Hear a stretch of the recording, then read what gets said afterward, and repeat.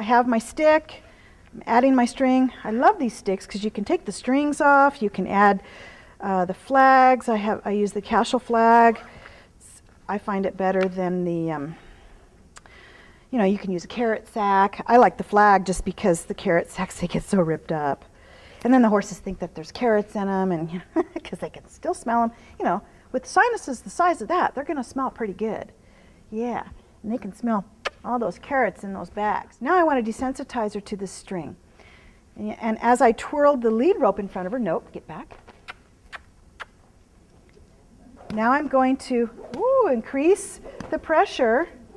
Oh, and that's scary. Okay, so I'm going to reduce that pressure, not slap it so hard. I'm going to come in here and help her with that. It's the noise that scares her the most. Good girl. That a girl. Good girl. And then I'm going to move out. You're doing just fine.